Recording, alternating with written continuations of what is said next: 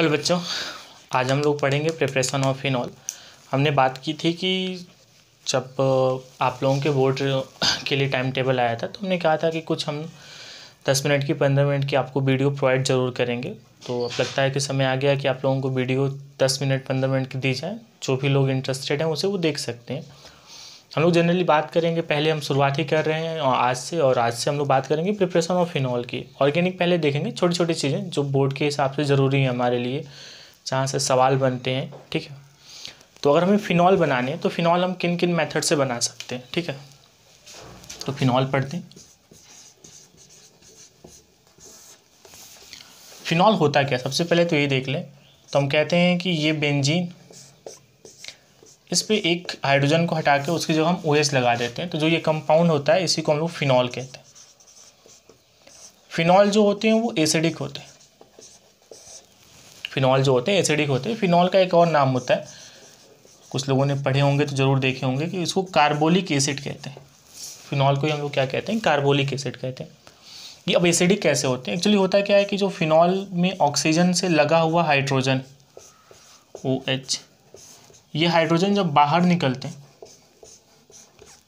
तो जो कॉन्जुगेट अनायन बन के आता है, ये कॉन्जुगेट अनायन हमारे लिए रेजोनेंस स्टेबलाइज होते हैं।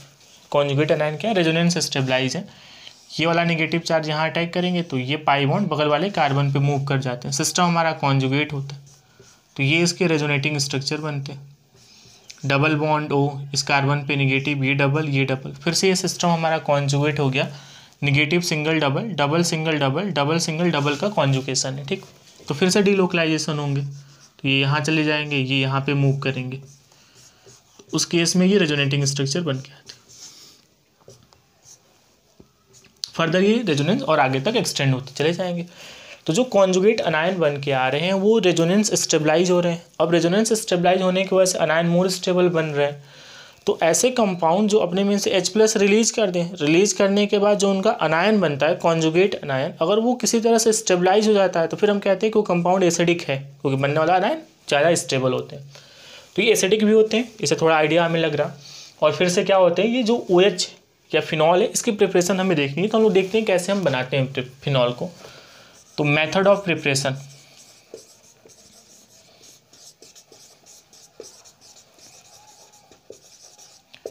of phenol phenol को बनाने के क्या क्या हमारे पास तरीके पहला जो सबसे आसान तरीका होता है बनाने का, वो है हमारे लिए फ्रॉम क्लोरोबेंजिन एक्चुअली ये हम लोग हेलो एल्केन हेलो एरिन में पढ़ते भी हैं क्लोरोबेंजिन से बनाने के तरीके। हम करते क्या है इसमें कि हम एक क्लोरोबेंजिन लेते हैं। इसकी रिएक्शन हम लोग सोडियम हाइड्रोक्साइड के साथ कराते हैं। क्लोरोबेंजिन की रिएक्शन सोडियम हाइड्रोक्साइड के साथ कराते हैं। क्रिटिकल कंडीशंस होती हैं। मतलब हाई टेम्परेचर हाई प्रेशर की कंडीशन होती है। Six seventy three kelvin temperature होता है। दो सौ का दाब हम रखते हैं। जब इसकी रिएक्शन कराते हैं तो यहाँ से सी हट जाते हैं और उसकी जगह पे ओ OH लग जाते हैं। तो ये फिनॉल हमें मिलते हैं। एक्चुअली एक तरह से इंडस्ट्रियल मेथड से। इंडस्ट्री में हम लोग फिनॉल को ऐसे ही बनाते हैं। एक और तरीका है इंडस्ट्री में बनाने का फिनॉल उसको आखिरी में सबसे देखेंगे। सबसे पहले इसे की बात करते हैं। तो क्लोरोबेंजिन टेशन सोडियम हाइड्रोक्साइड के साथ कराऊँ छः सौ तिहत्तर केल्विन टेम्परेचर हो, दो सौ का प्रेशर हो जाए तो फिनॉल बनते इस मेथड को हम लोग डॉज मेथड कहते हैं। D O W S Dow's method ठीक? एक ही तरीका। है दूसरा तरीका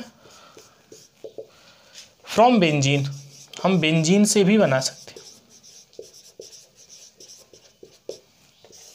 बेंजीन से कैसे बनाएँगे? हमने ये बेंजीन लिए।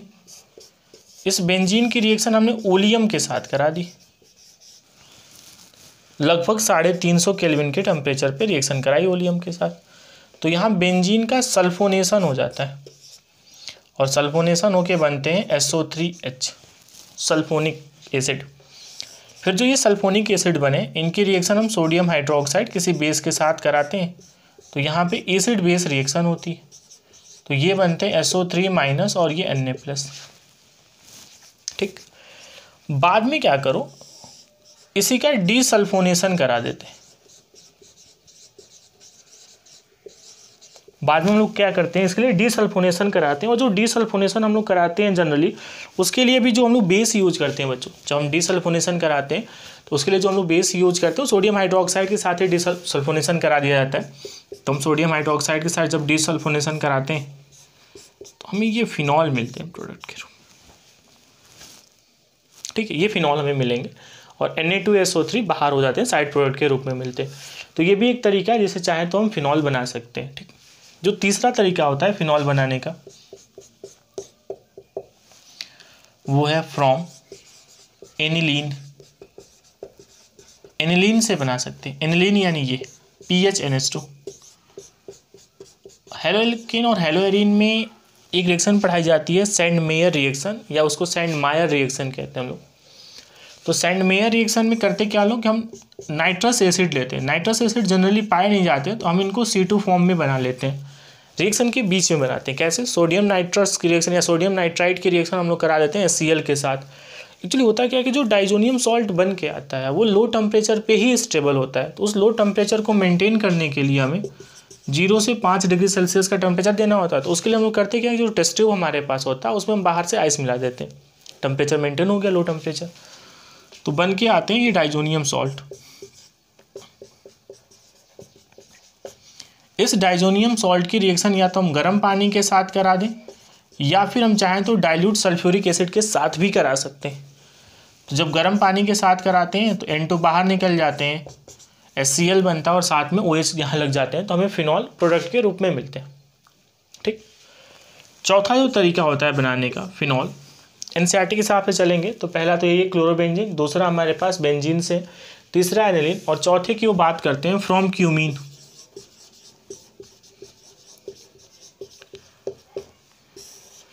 क्यूमीन से हम कैसे, क्या करेंगे? फिनॉल बनाएँगे। तो क्यूमीन से फिनॉल बनाने के लिए जनरली हम लोग करते क्या हैं? हम क्यूमीन लेते हैं। क्यूमीन का मतलब होता है आइसोप्रोपिल बेंजीन। ये है आइसोप्रोपिल बेंजीन। इस आइसोप्रोपिल बेंजीन की रिएक्शन हम लोग कराते हैं ऑक्सीजन के साथ। तो इसका एरियल ऑक्सीडेशन होता है। और जब एरियल ऑक्सीडेशन होते हैं तो ये कुछ ऐसे है। सी ओ ओ और ये एच ये मेथिल ये मेथिल इसमें परऑक्सी बन के आते हैं एरियल ऑक्सीडेशन से। फिर इसको क्या करते हैं हम लोग? हीट करते हैं, गर्म करते हैं। एसिडिक मीडियम भी थोड़ा सा हम ले लेते हैं गर्म करते समय। तो जब गर्म करते हैं तो इसमें रीअरेंजमेंट होता है। और रीअरेंज होकर होता क्या है कि जो ये फेनिल है, ये फेनिल शिफ्ट कर जाता है इस ऑक्सीजन पे। और जैसे ये फेनिल शिफ्ट करके ऑक्सीजन पे जाते हैं तो हमें तो प्रोडक्ट के रूप में फिनॉल मिलते हैं। साथ में एक और साइड प्रोडक्ट बन के आता है, जो इंडस्ट्रियल हमारे लिए बहुत ज़्यादा इंपॉर्टेंट होता है, वो है एसीटोन तो एसीटोन भी लगे हाथों मिल गए हमें। साथ में बच्चों में फिनॉल भी मिल गए। हमें क्या हो गया एसीटोन भी मिल गए, फिनॉल भी मिल गए। तो ये हमारे लिए प्रिपरेशन हो जाती है फिनॉल की। तो जल्दी से इसे नोट कर लें।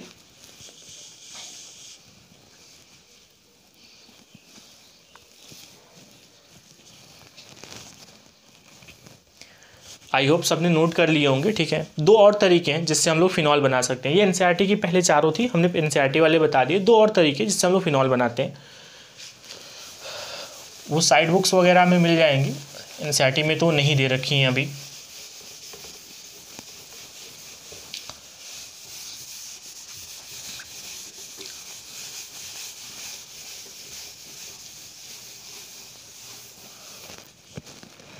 पांचवा जो तरीका है फिनॉल बनाने के लिए, सबने एक रिएक्शन पढ़ी होगी डी कार्बो ऑक्जिलेशन रिएक्शन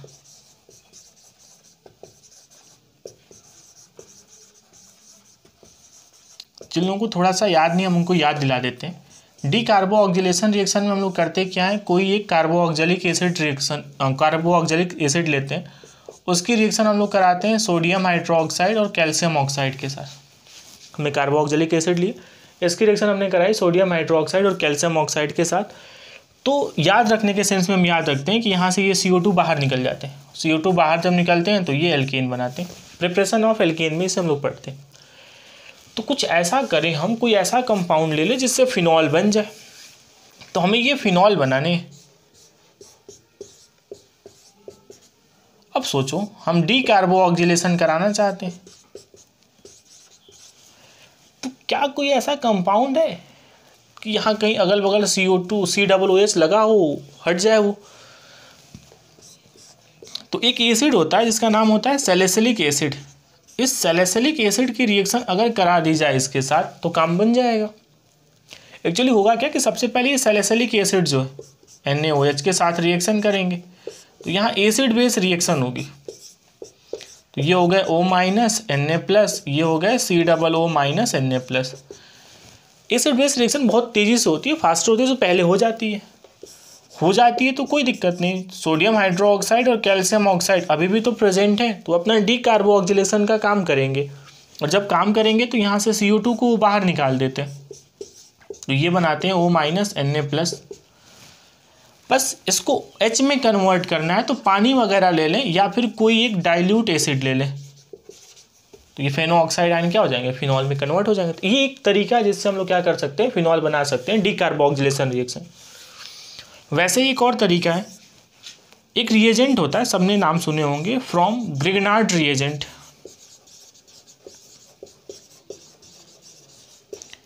इस ग्रिगनार्ड अभिकर्मक या ग्रिगनार्ड रिएजेंट की मदद से भी हम लोग फिनॉल बना सकते हैं। पहले ग्रिगनार्ड रिएजेंट होते क्या ये देख लेते हैं। हम जब एल्किल हाइलाइड की रिएक्शन मैग्नीशियम के साथ कराते हैं in presence of dry ether ये मैग्नीशियम एल्किल और हेलोजन के बीच में ऐड हो जाते हैं। ऐड होके बनाते हैं आर एम जी एक्स ठीक?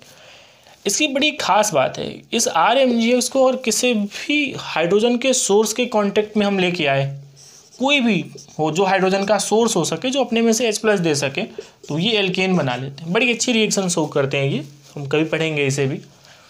ठीक? तो ये एल्केन बनते हैं। हमें बनाना फिनॉल है तो हम क्या करते हैं? हम इस आर की जगह अब की बार ग्रेनाड रिएजेंट में फेनी ले लेते हैं और एम जी सी एल लिए इसकी रिएक्शन हम ऑक्सीजन के साथ कराते हैं। एक्चुअली होता क्या है? जब हम इसकी रिएक्शन कराते हैं तो ये जो आर एक्स है, इसमें से आर वाला जो होता है, वो निगेटिवली चार्ज होता है हमारे लिए। आर क्या होते हैं बच्चों? हमारे लिए निगेटिवली चार्ज होते हैं। और आर निगेटिवली चार्ज होने की वजह से बहुत बढ़िया न्यूक्लियोफाइल की तरह वो काम करता है। बहुत बढ़िया न्यूक्लियोफाइल होते हैं। जब ये न्यूक्लियोफाइल होते हैं तो ये चेक करते हैं कि कहाँ से हम रिएक्शन कर सकते हैं। बहुत सारे रिएक्शंस में तो ये क्या करते हैं? अटैक कर देते हैं। न्यूक्लियोफिलिक एडिशन रिएक्शन हो जाती है कार्बोनिल में। तो वहाँ हम लोग प्राइमरी अल्कोहल बना लेते हैं। वहाँ हम लोग सेकेंडरी अल्कोहल बना लेते हैं। वहाँ हम लोग टर्सरी अल्कोहल बना लेते हैं। टर्सरी हाँ टर्सरी अल्कोहल बनते हैं कीटोन से बनते हैं। अल्डिहाइड से बनते हैं हमारे सेकेंडरी अल्कोहल्स और फॉर्मल से बनते हैं हमारे प्राइमरी अल्कोहल तो जब हम इसके साथ रिएक्शन कराते हैं तो ये न्यूक्लियोफाइल के रूप में यहाँ से बाहर निकलते हैं। इस ऑक्सीजन पे अटैक करते हैं। अटैक करने के बाद होता क्या? कि ये बेंजीन ये ओ माइनस ये M G C L plus बनते हैं। साथ में हम रिएजेंट के रूप में यूज़ कर लेते हैं ड्राई ईथर फिर जो ये बन के आए, इसकी हमने हाइड्रोलिसिस कराई। तो जब हमने इसकी हाइड्रोलिसिस कराई तो ऑक्सीजन की जगह एच लग जाएँगे, ये फिनॉल बन के आएँगे। और बाकी जो होंगे एम जी ओ एच और ये सी एल ये बाहर निकल जाते तो ये छः तरीके हैं जिनसे हम लोग फिनॉल बना सकते हैं। एक समरी के रूप में हम याद रखने के सेंस में एक छोटे से पोर्शन में हम बना लेते हैं कि सबसे पहले हमने पढ़े थे कि जब हम क्लोरोबेंजीन की रिएक्शन कराते हैं सोडियम हाइड्रोक्साइड के साथ, या कोई भी बेस हो सकता है हाइड्रोक्साइड बेस या ए भी हो सकता है इसकी जगह, हम रिएक्शन करा दें छः सौ तिहत्तर के एलविन दो सौ ए टी एम दाब पे तो हमें फिनॉल प्रोडक्ट के रूप में मिलते हैं। हमने दूसरा तरीका पढ़ा था बेंजीन ली थी। बेंजीन की हमने ओलियम के साथ रिएक्शन कराई S two S two O seven के साथ, साढ़े तीन सौ केल्विन के टेम्परेचर के आसपास में। तो जो हमने रिएक्शन कराई थी साढ़े तीन सौ केल्विन के आसपास टेम्परेचर पे तो हमें फिनॉल प्रोडक्ट के रूप में मिले थे यहाँ। सॉरी डायरेक्ट फिनॉल नहीं मिले थे। पहले सल्फोनिक एसिड मिला था, फिर बाद में उन्होंने उसको सोडियम हाइड्रोक्साइड के साथ ट्रीट किया था। तो पहले तो एसिड बेस रिएक्शन किया था, बाद में डिसल्फोनेशन कर लिया था। उस डिसल्फोनेशन के बाद हमें फिनॉल मिले थे। तीसरा तरीका जो हम लोगों ने पढ़ा था, वो एनिलीन से पढ़ा था। ये P H N S two इसकी रिएक्शन हमने नाइट्रस एसिड के साथ कराई थी N A N O two plus S nitrous acid ऐसे जनरली पाया नहीं जाता लैब में तो हम इसे बीच की रिएक्शन में बना लेते हैं। ये ठंडे या कम टेम्परेचर पे स्टेबल होते हैं तो इसके लिए हम लोग बाहर से क्या करते थे आइस मिला लेते थे तो ये डाइजोनियम सॉल्ट बन के आते थे। P H N two plus C L minus फिर इसकी रिएक्शन हम लोग गर्म पानी के साथ कराते थे। तो जैसे हम लोग गर्म पानी के साथ रिएक्शन कराते थे तो ये फिनॉल प्रोड्यूस कर देते थे। चौथा तरीका हम लोगों ने क्यूमीन से पढ़ा था। ये C H C H three का होल ट्वाइस सबसे पहले हमने इसकी एरियल ऑक्सीडेशन कराई थी तो ये ऑक्सीडाइज होकर परऑक्सी में कन्वर्ट हो गया था। फिर बाद में हम लोगों ने क्या किया था? इसे हीट कर दिया था एच प्लस के प्रेजेंस में। तो ये फिनॉल में कन्वर्ट हो गए थे, और साथ ही साथ ये बनाए थे एसीटोन ये पांचवा है ही। हमने क्या लिए थे? सेलेसिलिक एसिड लिए। और इस सेलेसिलिक एसिड की रिएक्शन हमने करा दी थी। डी कार्बोक्सिलेशन रिएक्शन इसका कराया था। एनएओएच और कैल्शियम ऑक्साइड के साथ कराई तो हमें फिनॉल प्रोडक्ट के रूप में मिले। और एक आखिरी जो हमने बात की थी, छठवें तरीके बनाने के लिए, वो ग्रिगनार्ड रिएजेंट से एम लिया था हाफ़ मॉलिक्यूल या हाफ़ मोल ऑक्सीजन लिए। In presence of dry ether तो उस केस में हमें ये फेनो ऑक्साइड एम मिला, फिर उसको हमने पानी में मिला दिया। और पानी में जैसे मिलाया तो हमें फिनॉल प्रोडक्ट के रूप में मिल गया। तो ये सारे तरीके थे जिससे हम लोगों ने फिनॉल की प्रिपरेशन देखी थी। तो ये छः तरीके हैं। आई होप आपको ये वीडियो पसंद आई होगी। एक बार इसे नोट कर लें, ठीक है? और याद रखें, ये हमें बहुत आगे भी काम आएँगे। ठीक? बाय